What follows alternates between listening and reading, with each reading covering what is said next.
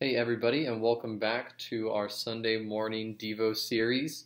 So, Barrett is out this week, so your old pal Jonathan's taken over again. It's going to be very exciting, so strap in. We've got a very excellent, very thrilling Devo uh, for you all that I'm, I'm so pumped uh, to share. Because today, we're going to take a look at the beginning of the New Testament. So the New Testament is pretty important. You know, it's the second part of the Bible. We have Old Testament, you have New Testament, right? We all know that. And the New Testament sets the stage for eternity by telling the story of Jesus Christ, him coming to earth, him spreading the gospel message, dying on the cross, and then getting the church started up. I mean, the New Testament is important. And the New Testament begins after 400 years of silence from God to his people, to the Israelites. So the New Testament's pretty important and pretty huge. Today we're going to take a look at the very first chapter of the New Testament, which is in the very first book of the New Testament, which is the book of Matthew. We're going to take a look at Matthew chapter 1, and we're going to see how the New Testament begins. I mean, you would think it begins in a very important and huge way. 400 years of silence have just passed. The Messiah is coming to earth. I mean, it's got to have a pretty important and pretty huge opener. You'd think that, right? So we're going to flip in our Bibles to Matthew chapter 1.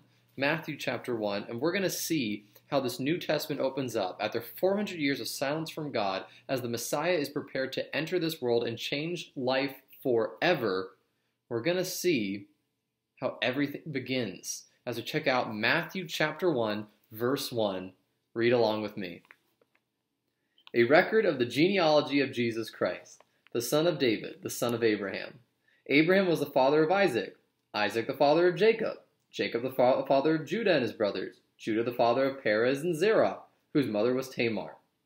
Perez the father of Hezron, Hezron the father of Ram, Ram the father of Amminadab, Amminadab the father of Nahshon, Nahshon the father of Salmon, Salmon the father of Boaz, whose mother was Rahab. Boaz was the father of Obed, whose mother was Ruth. Obed was the father of Jesse, and Jesse was the father of King David. David was the father of Solomon, whose mother had been Uriah's wife.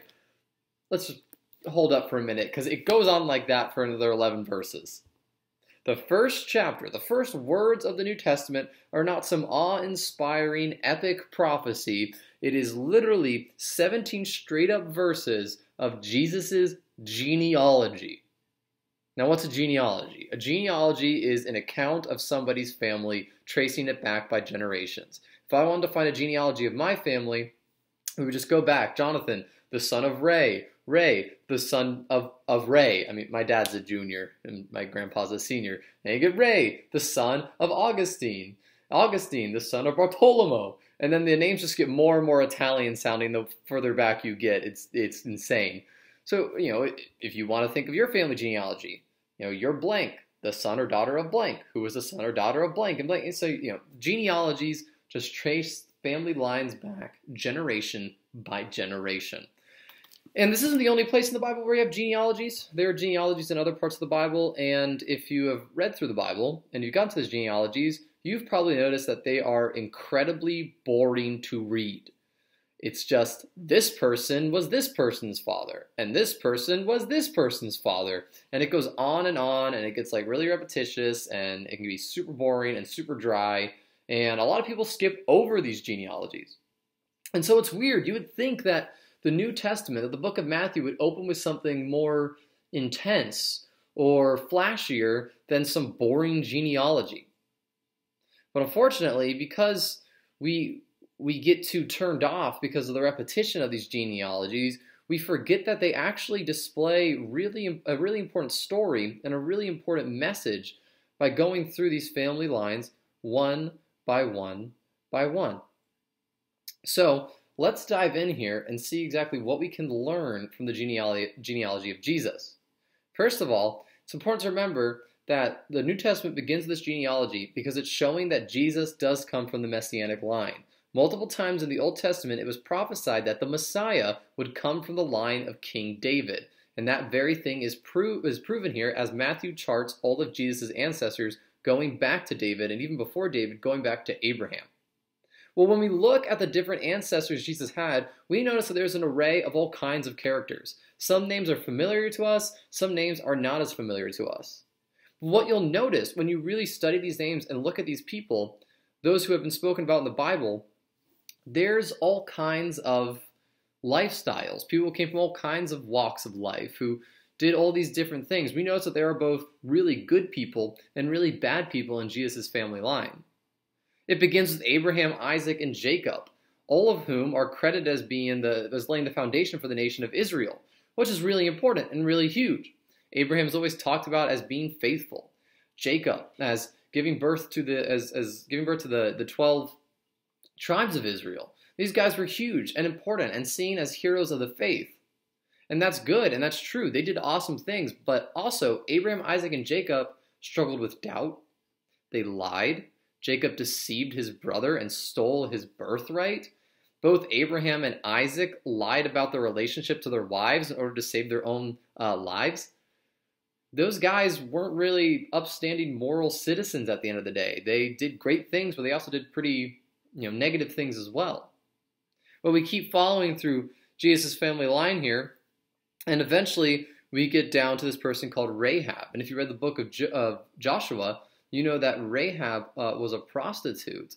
And that's not the kind of job anybody should ever desire. Yet, despite the fact that Rahab came from a less than wonderful way of living, she ended up helping the Israelites as they were coming into the promised land. And because of that, she was brought into the messianic line. Her life started off pretty nasty, but she ended up helping one of the most important moments in Israelite history come to pass. She eventually uh, gives birth to Boaz. Boaz, who we know from the book of Ruth, is the husband of Ruth, and the two of them display a wonderful love story and show what good, godly love can look like amongst people. So, two awesome people in Jesus' family line. Well, Ruth and Boaz end up being the grandparents to King David. They end up being ancestors to King David, and King David is described as a man after God's own heart. A man after God's own heart. And there's so much good to be said about King David, and so much good is said about him in the Bible. However, what we notice as we continue reading here is that David, right here in verse 6, David was the father of Solomon, whose mother had been Uriah's wife. David did a lot of great things for Israel. He helped move the nation back to God and was the most godly king Israel had at their time. However, David also did some nasty things. His son Solomon, who came after him as king, was the daughter of a woman who was stolen by David from her husband.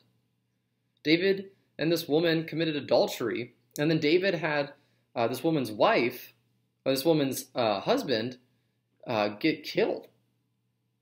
So there's some weird moral things going on here in Jesus' family. We continue and we look through the different kings of Judah. And a lot of these kings were pretty nasty people. A lot of these kings lived for themselves. They committed idolatry. They weren't following the Lord. However, there are some kings uh, in Judah, like Hezekiah and Josiah, who were amazing kings, who were great and turned the nation back to the Lord. Ultimately, what we see here through Jesus' family is that you both have great people and pretty nasty people. You have people who make mistakes in there.